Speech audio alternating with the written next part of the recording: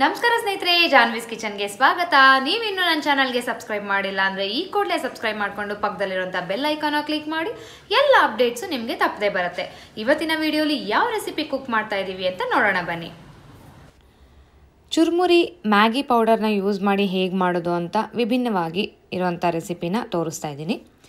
ಒಲೆ ಮೇಲೆ ಒಂದು ಪ್ಯಾನ್ ಇಟ್ಕೊಂಡು ನಾಲ್ಕು ಚಮಚದಷ್ಟು ಎಣ್ಣೆ ಹಾಕಿ, ಹಸಿ ಕಡಲೆಕಾಯಿ ಬೀಜ ಹಾಕಿ ಇದು ಗರ್ಗರಿ ಆಗೋವರೆಗೂ ಹುರಿಬೇಕು. ಇಲ್ಲಿ ಒಂದು ಕಪ್ಪಷ್ಟು ಪುರಿಗೆ ನಾನು ತೋರಿಸ್ತಿರೋದು. ಮೆಜರ್ಮೆಂಟ್ಸು ನೀವು ಜಾಸ್ತಿ ಮಾಡ್ಕೋಬೋದು.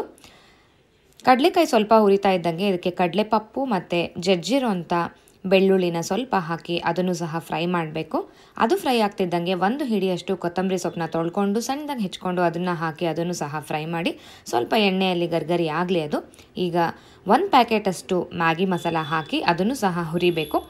ಇದು ಡಿಫ್ರೆಂಟ್ ಫ್ಲೇವರ್ ಇರುತ್ತೆ. ಯೂಶಲ್ ನಾವು ಖಾರದ ಪುಡಿ ಮತ್ತು ಉಪ್ಪು ಹಾಕ್ಕೊಂಡು ಮಾಡ್ತೀವಿ.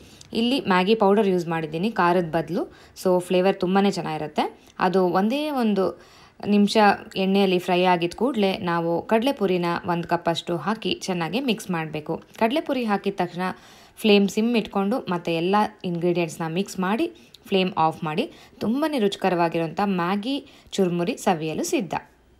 ನನ್ನ ವಿಡಿಯೋ ನೋಡಿದ್ದಕ್ಕಾಗಿ ನಿಮ್ಮೆಲ್ಲರಿಗೂ ಧನ್ಯವಾದ.